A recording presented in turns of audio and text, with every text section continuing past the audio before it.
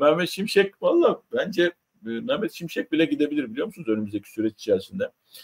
Şimdi e, bir açıklaması var. O açıklamayı da biraz Ahmet e, birazdan Ahmet ekrana getirecek. E, anlamıyor ben dedi. Ben dedi anlamıyorum dedi. Ben de kendisine tane tane anlatacağım. Peki neyi anlamıyor?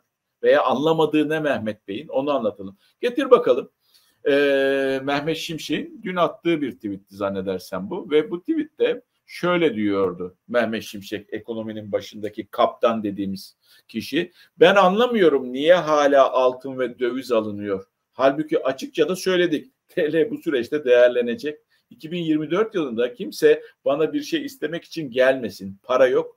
Otoyolu, havalimanı, otoyoldu, hava, hava alanıydı. Böyle yatırımları yeterince yaptık. Bir süre yeni yatırım olmayacak.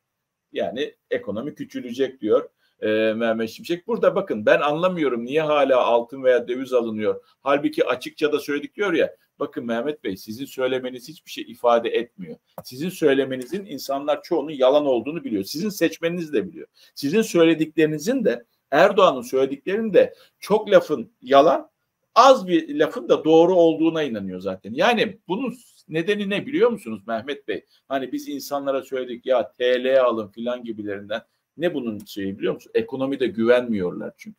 Çünkü her şey e, bağımsız bir ekonomik yönetimin e, kontrolünde değil veya bağımsız bir merkez bankası yönetimi yok. Her şey Erdoğan'ın kontrolü altında. Siz de öyle.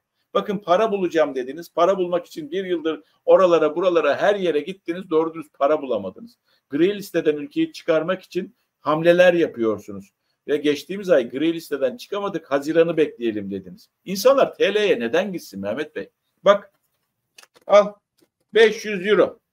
Bu çakma para. Onu size söyleyeyim. Örnektir zaten. Biz bunu bilgisayardan bastık. 500 lira. 17.500 liraya te- tekabül ediyor bu. 17.500 mü? 17.572 lira mı ne? Bu paranın karşılığı. Bizim paramızın değersizliğini görüyor musunuz? Ve siz söylemişsiniz paramız değerlenecek diye. Kusura bakmayın ya. Ben siz söylediniz diye, söyleyeceksiniz diye veya söylediniz diye ya da Erdoğan söyledi diye TL alıp TL tasarrufu mu yapayım? Evet, biraz tasarruf yapıyorum. Hayatta da TL yapmıyorum. Neden yapayım ya? Niçin yapayım? Çünkü zarar edeceğimi biliyorum. Çünkü siz bana güven vermiyorsunuz. Alın bir kere istikrar yok. Tane tane anlatıyorum size. Hani dedim ya size Mehmet Beyciğim dinleyin beni. Çünkü ben halkım. İnsanlar da bak buraya yazacaklar şimdi tamam mı? Ben size anlatıyorum tane tane. Bir, istikrar yok ülkede. Yani bugün için evet bir Erdoğan yani tek parti 22 yıldır yönetiyor. Tek partinin olduğu yerde istikrar olmasını beklersiniz. 22 yıldır aynı isim aynı kadrolarla yönetiyor. Ama işte bu istikrarın e, işte tek parti olursa veya 22 yıl uzun bir süre bu partiler veya böyle bir parti ülkeyi yönetirse ülke kalkınır anlayışını da çökertti. Çünkü neden biliyor musunuz? Ülkede ahlak kalmadı. Yani ne siyasi ahlak kaldı ne de başka türlü ahlak kaldı. Ve e, ahlaki anlamda, siyasi ahlak anlamında çöktük. E, tarumar olduk. E, siyasi ahlak çökünce zaten ister istemez liyakatsizlik, yolsuzluk, efendime söyleyeyim gelir adalet, adaletinde bozukluk, eğitim eşitsizliği, hukuksuzluk, adaletsizlik ve insanlar sizler bir şeyi düzelteceğim diye her defasında yalanı yalanla, yanlışı yalanla düzeltmek istediğinizden, olaya ideolojik baktığınızdan o bize istikrar getirmedi. İstikrarın olmadığı yerde ben sana neden güveneyim Mehmet Beyciğim ya? Niçin güveneyim? Hukuk devletinde olmadığı yerde ben Aa Mehmet Bey TL'ye güvenin diye ben TL'ye mi gideyim? Ondan sonra da işte başıma her şey gelsin. 2012 yılındaki sözlerinizi biliyoruz. Biz paraları topladık, deprem paralarını yollara harcadık. Ondan sonra da insanlar öldü. Ne güveneceğim arkadaş ben sana? Güvenmiyorum. Yalan söylüyorsun. Doğru konuşmuyorsun. Sen de senin işte e, sana yetki veren kişiler de kişi veya kişiler de güvenmiyorum. İstikrarın olmadığı bir güven yok. Yani Erdoğan'a birileri güvenebilir Erdoğan olduğu için ama e, ne size ne Erdoğan'a güvenim de yok. Çünkü bugün için oradasınız. İki gün sonra o görevden alınabilirsiniz. Gaye Hanım dedikodulardan dolayı mı ya da faizi yüzde altmışlara çıkartmak istediği için mi görevden alın? Bakın şimdi bugünlerde bu konuşuluyor. Ne kadar farkındasınız bilmiyorum.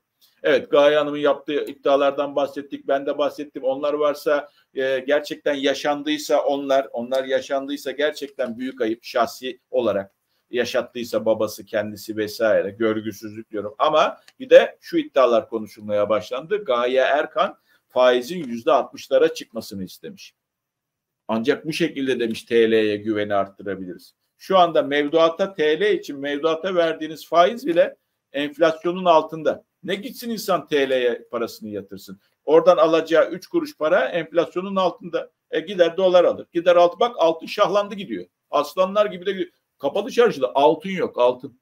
Altın bulamıyorsunuz.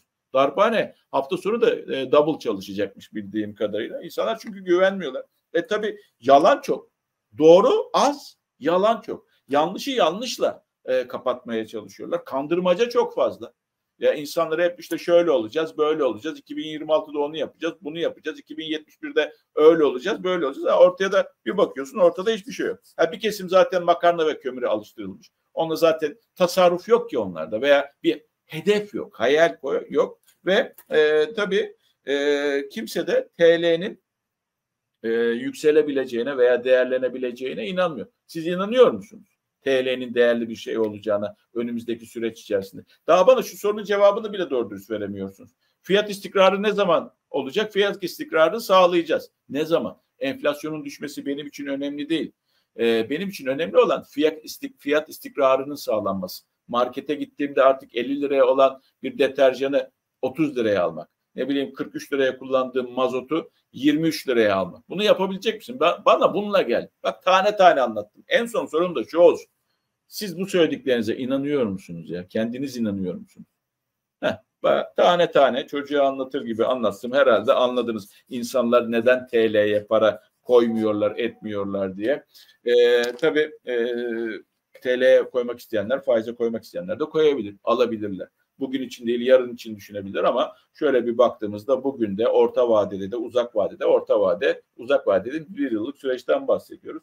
Doların bile şu anda Merkez Bankası'nın açıklaması var. İşte 40 lira olacak diyorlar. E ben neden TL alayım? Gider dolar alırım tasarrufum varsa. İşte euro 38-39 lira, 40 lira, 41 lira, 45 lira olacağı söylüyor. Giderim o zaman demek ki artacakmış derim. Bir, ay, bir yıl sonra, 8 ay, 9 ay sonra giderim euro alırım yani. Bu kadar basit. Ve bu sorunun cevabı da bence bu. Anlamıştır diye tahmin ediyorum e, Mehmet Şimşek. E, gündemi de bu şekilde toparladık. Yani neler var neler yok diye soracak olursanız ayetten bahsettim diyerek kendini kurtarmaya çalışmış diyor Turgut Altınok ama sinirleri de gerildi Turgut Bey'in. Yani dün onun haberini getirdik kızmaya başladı. Yakında kafa kol girebilir muhabirler onu da söyleyeyim. Yaklaşırken biraz mesa soruyu sorarken mesafeli sorun veya kendinizi şöyle bir koruyun. Kilyos'ta doğalgaz Erdoğan diyor. Hayırlı olsun. Yine bir doğalgaz mı? Abdullah Bey demiş bunu.